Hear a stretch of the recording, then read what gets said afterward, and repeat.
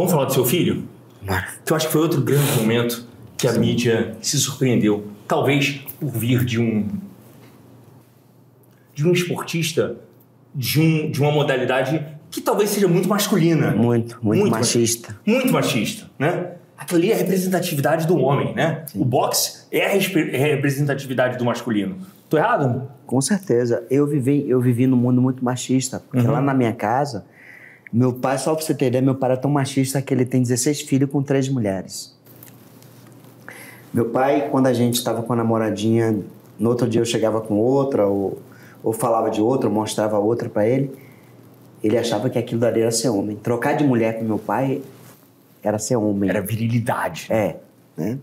Ser corno era motivo de brincadeira. O pior Ser que gay era motivo de botar pra fora e dar porrada porque ter um filho gay. que era um filho gay. Uhum. né? Na nossa família, na família de meu pai, não teve nenhum gay. E se, e se tivesse, não aparecia porque naquela época era era era assim, a- o, o Era o de vexame da família. E eu cresci vendo isso. Sim. Só que eu não me estacionei a isso, eu segui o fluxo. Quando meu filho, com 16 anos, é, os primos dele, os irmãos dele, falou: pai, o senhor nunca viu algo diferente em Juan? Eu falei: não, tipo, a forma que ele anda, que ele fala. Eu disse: não, até porque meu filho é homem. É. nunca vi nada diferente nele andar ou falar, ou ele entortar o braço, nunca vi nada disso. Eu acho que é normal. Não, mas conversa com ele. Aí falei, Juan. Com quantos anos isso? Ele tinha 16, hoje ele tá, ele tá com 23. Aham. Né? Eu falei, Juan, deixa eu te fazer um. Tirar um. 21, aliás. Sou primos, irmãos falando que você, que você é gay, aquela coisa toda. Me diga aí, o que é que você é? Disse, meu pai, eu não sei. Eu sinto atração por menina e por menino. Eu falei, então se descubra.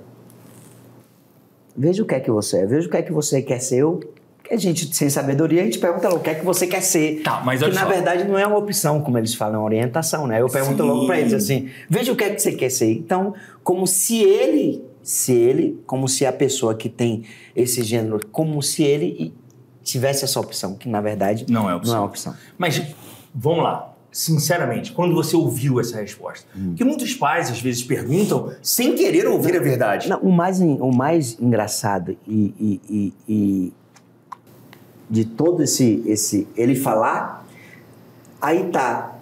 Ele falou pra mim que sentia atração por menina e por menino. Só que ele não sabia. Aí depois de uns 15 dias ele vem com um menino e me apresenta como namorado. Meu pai, esse aqui é meu namorado. Eu falei, beleza, tá feliz?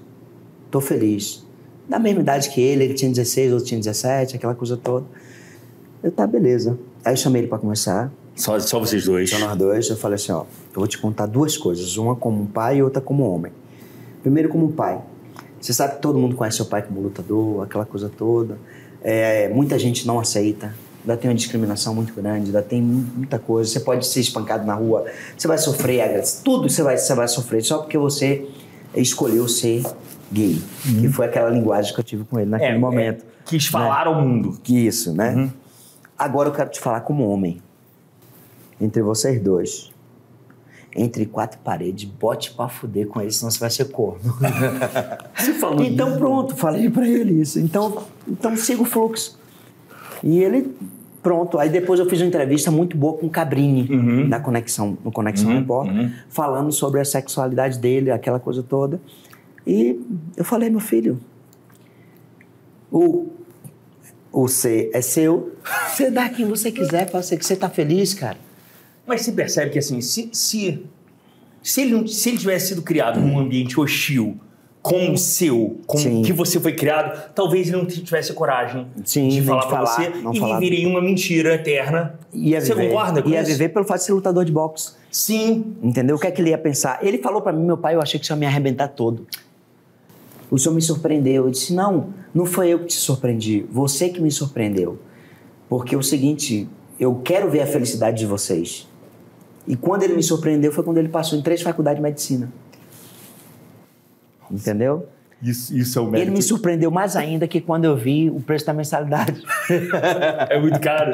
Pô, muito caro medicina, né? Muito em caro. faculdade particular. Muito caro. E a gente vai lá e, com vontade e fala E, assim. e essa foto que você fez com.